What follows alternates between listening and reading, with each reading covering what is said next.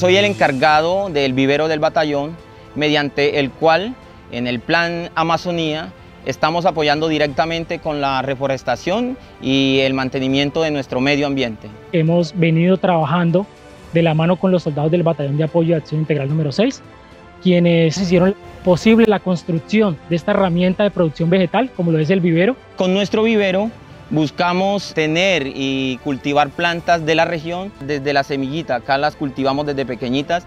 Cuando ya tienen un tiempo determinado, ya buscamos eh, articular con las diferentes entidades. De aquí sacamos el material vegetal con el que apoyamos a las comunidades y tratamos de reforestar las zonas críticas de deforestación.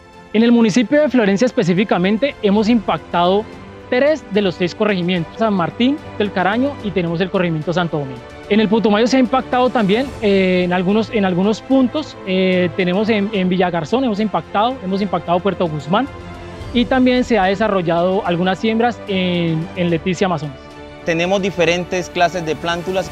Endémicas de la región por lo general, pues tenemos diferentes especies, tenemos árbol del pan, tenemos huaca y marona, le apostamos mucho al carbón, puesto que es una especie que retiene mucho la humedad y, promueve, digamos, la, recuperación del suelo. Tenemos otras especies como el nogal, eh, amarillo, entre otras.